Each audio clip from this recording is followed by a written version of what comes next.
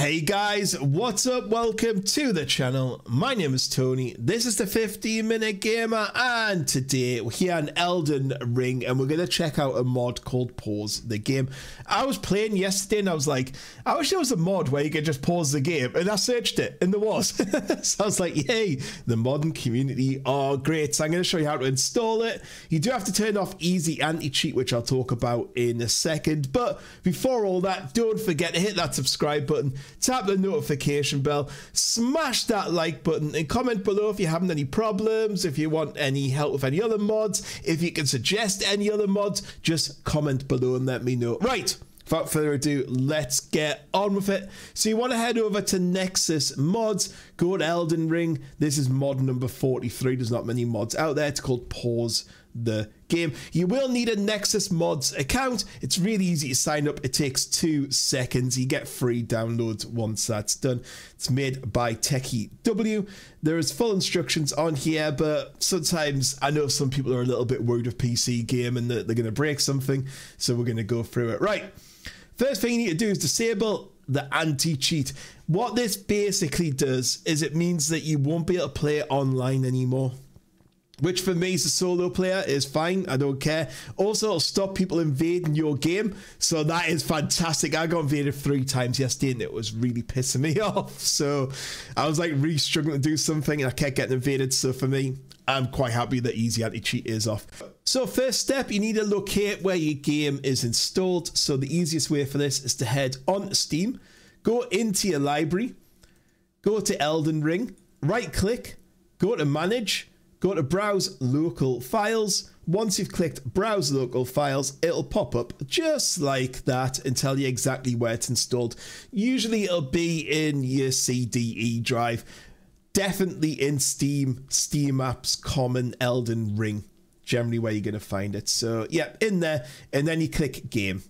Once you're in game, you'll see a couple of files. There's not too many in here. I might have a few extra because I have the mod installed already. So step number one is to create this text document here. To do that, all you need to do is right click in an empty space, go down to new, go down to text document, so you can see there. Name it. I'll just drag the little box across so you can see. Steam underscore app ID dot text. I will put it in the description as well so you can just copy and paste it. I'll get rid of that copy there because I already have one. Open it up and in there type one, two, four, five, six, two, zero. Just like that. One, two, four, five, six, two, zero, and click save and that'll have the document like that. Make sure it has .txt at the end. Second step is, can you see here, which has a little bear beside it, start protected game.exe. Again, I've already done this, but I'll show you how to do it. Right click on it, click rename. Where it says exe at the end, leave it as dot old. So get rid of the exe and replace with old. Once you've replaced it with OLD, your folder will look something like that. Why are you're doing that, it just means it's a backup. It means you can revert easy anti-cheat on nice and easy. Step number three is come up to here where it says eldenring.exe. Right click, go to copy. Right click in this empty space and click paste that'll co- that'll paste that and make a copy. So it'll be like Elden Ring copy. I'll just show you how it works. Copy.exe. And what you want to do is rename that start underscore protected underscore game dot exe. That will then look something like that. And a little panda will go on the front of it. And that means that is the easy anti-cheat kind of set up.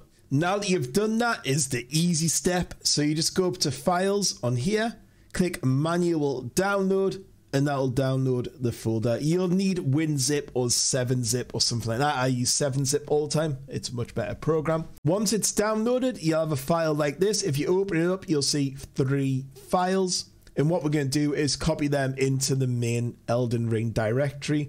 Just remember, if you're not sure where it is, to go into your Steam library, right click Elden Ring, click Manage, click browse local files. So you'll have something like this. Click on game, highlight them three, and just click and drag into your main directory. You don't have to put it into a folder, nothing like that. Click and drag so you can see there Hook fonts, Hook textures, and DX. There you go, gi.dll. So all you do on 7-zip is click and drag. If you're using a different program, you might have to extract it first and then put them in there. So once you've followed them steps, you can just come back into here, press play, press play.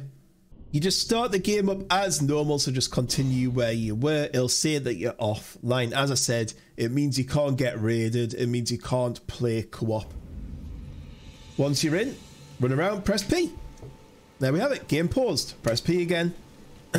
Unpaused. Paused. Unpaused. There is a slight micro stutter if you're doing something like say you're running.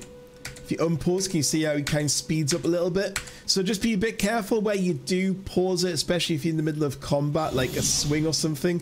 You might want to be a bit careful where you do it. But for just general use, if you're just in the game world, chilling out, you don't want to get attacked while you go and get a drink or do something else, take a phone call, press P, game post. Anyway, guys, I hope you enjoyed the video, and I'll catch you on the next one. Goodbye.